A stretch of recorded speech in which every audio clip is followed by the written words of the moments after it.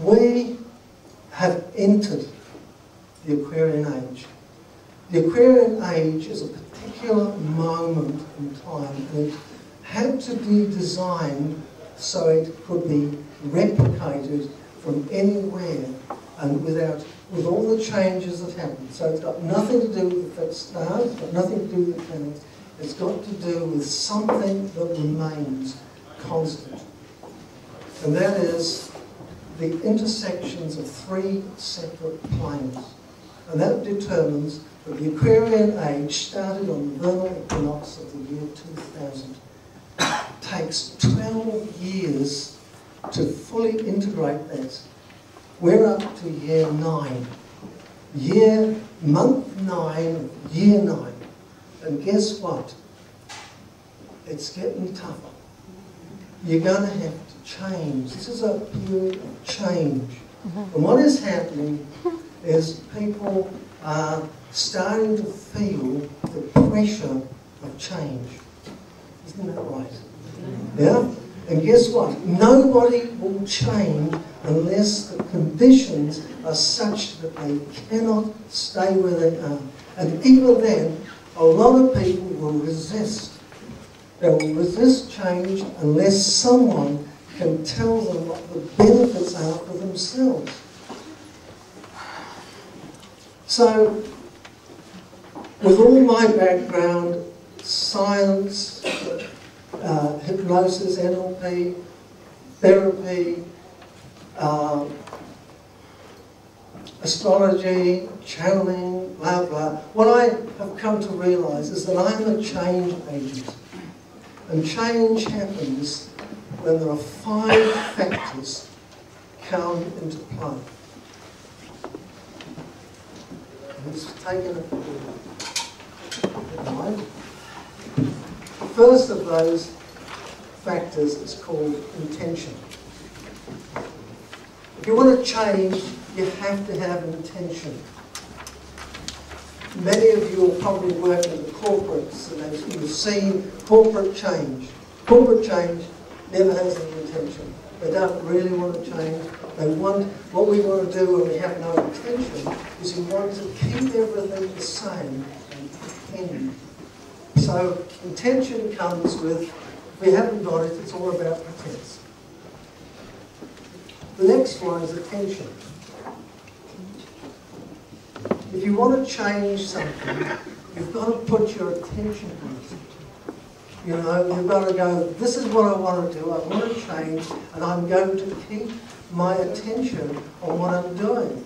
I'm not going to spread it into whole different areas. If I spread it out, what happens? I create confusion. Mm -hmm. That's, you know, I, I, say these things. Is there anybody who's ever been confused? yeah. Guess what? No attention. The next one. To change something, you've got to have the skills. You know? If you don't have the skills and you're trying to change something and you go, I'm trying to change and I don't know what I'm doing, what it creates is it creates anxiety. So you get stressed out. Does anyone relate to this? Okay. The next one is called a decision. If you want to change, you have to decide what you're going to change to.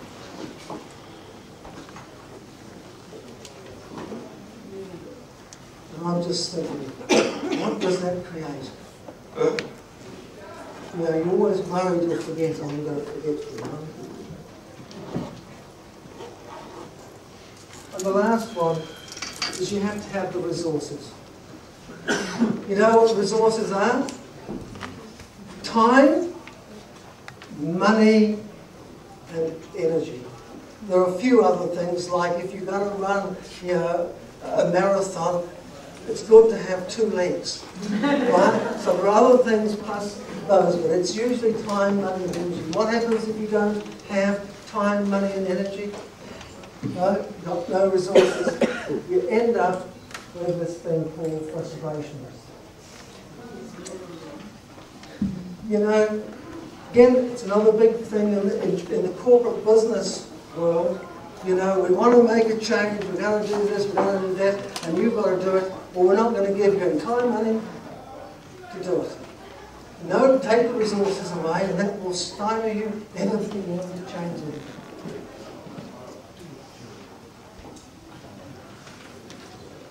So, my job as a change agent, right, is to help people to get their intentions right. You know, to actually decide that what you're going to do, where your direction is. Right? We have to have a direction, and we have to set our intention on going in that place, knowing where you want to end up. Right? As a trainer, that's when I teach you skills, because you have to have the skills to get there.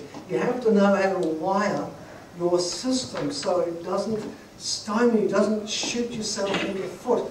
Most people have got beliefs that are destructive.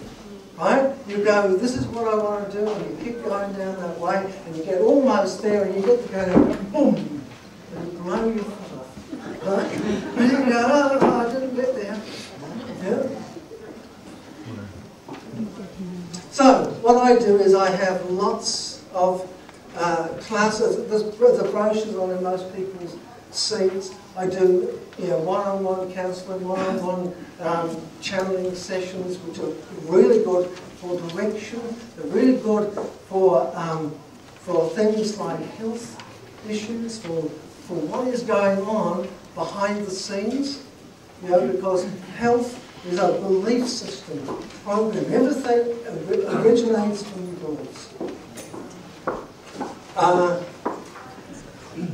I'm starting to do workshops that are actually integrating work within so what you can do, and I've got one next weekend, next Sunday, I'm going to do one which is called Opening the Spiritual Window, which really is uh, an exploration of what spirituality actually is. Because right here, in this room, amongst all of these seemingly separate beings, there is one entity called an us. Now, one being is here, and we are all cells in that being. So when we talk about unity, we mean. Right? And the only thing that separates you from the next person is your judgments about self and others. Yeah? So you go, I'm a man, he's a man. Now, I'm a man, she's a woman. Now, dark haired, white haired, blonde, you know, curly, straight. Uh, we have uh, small, large, tall, short. It's myriads of these linguistic ways of describing someone else so that we can be different from them.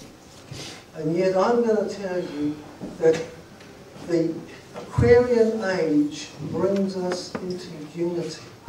And that unity is where we see everyone else as self. Right? And everything we do, we do because this is another part of myself. And everything that I can do to help someone grow I'm watching myself evolve. Then, thank you for listening.